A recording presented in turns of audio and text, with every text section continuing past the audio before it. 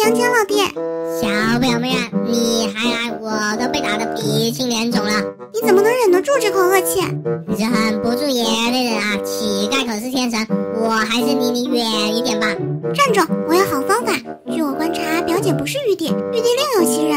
什么？真的假的？没错，那天我看从玉帝下来的不是表姐，而且我还发现了这座大陆有神器商店，就在山脚下。你是说一涵拿到了神器？快跟我来，我们也去偷神器，就是这里面啦。你看，还真的有神器商店。哇塞，里面有好多神器啊！但是要怎么进去呢？这个简单，你忘了我有七十二变啊！开锁成功，走吧，就是这里了。原来我的金箍棒在这里，还有好多机关枪。小表妹，我这里有好多长剑、病毒、冰和圣剑。原来我杨戬的武器都在这里。是时候让表姐知道我们的厉害了。小老弟，你都拿齐了没？齐了，齐了，我什么都有了。这商店不能让表姐再碰到了，岩浆伺候，把这里都焚烧了。走，找表姐报仇去。当主来的感觉太好了，逍遥又自在。下山体验生活了，先去拿我的武器，以防万一。武器商店，哎，我的武器呢？武器哪去了？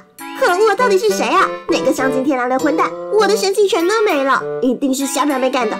找到了，那就是小表妹，鬼鬼祟祟，一定是她。小表妹，你不好好工作，四处瞎转什么呢？表姐，是我一撮子弹还不够，看样子表姐皮糙肉厚，常常如意金箍棒。表妹，你哪来的神器呀？是你们干的？是我们干的又怎么样？尝尝我圣剑的厉害！你们，你们给我等着，我不会放过你们的！气死我了，毁我神器！还好我早有准备，操纵天气，五指山锁定目标，杨戬孙悟空。这是哪啊？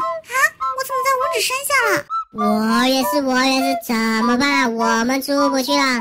小表妹、小老弟，你们可好呀？哼，我摊牌了，不装了。我就是如来，现在你们要在这五指山下关押五百年。五百年，一涵姐姐快饶了我吧！小表妹胁迫我的。我知道，我知道，小伙伴都和我说了，今天就放你出来解咒，出来吧！表姐，表姐，我错了，你也放我出来吧！想得美哦，还想危害人间，欺负乞丐，盗取神器，还焚烧山殿，这数罪并罚！你给我在这里好好的反省。嗯，小伙伴都是表姐欺负人在先，你们叫表姐放我出去吧。